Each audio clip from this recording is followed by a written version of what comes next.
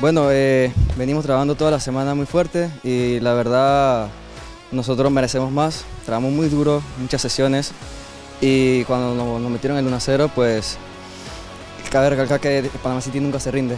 Luchamos hasta el final, hasta el minuto 95 si es posible y si tenemos que remontar el partido lo remontamos.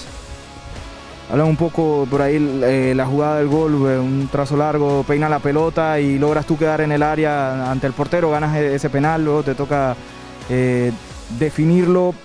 por ahí se, te estaba viendo jugando más adelantado el torneo pasado, jugando más de cinco, por ahí que te pide el profe.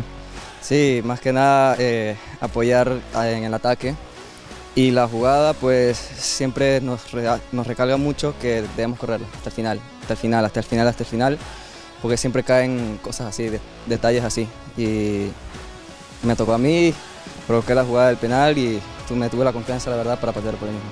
Hoy el equipo logró sostenerse al final, por ahí el torneo pasado hubo ocasiones donde no se pudo sostener el resultado, muy positivo eso, ¿no? También con la adición de jugadores como Vergara, como Gibson, que le da solidez defensiva al equipo. No, claro, eh, mucha experiencia, mucho recorrido tienen eh, Boris, Gibson y, y Vergara. La verdad, apoyan mucho al equipo, tanto fuera y, fuera y dentro de la cancha, y son muy buenos refuerzos para el Panama City. Necesitábamos un apoyo así, tanto moral como físico, y tenemos que seguir entrenando para las jornadas, todavía faltan bastante, así que tenemos mucho que por el, por el torneo. Faltan las jornadas allá en los equipos de Colón, en la Conferencia Norte, y a seguir adelante.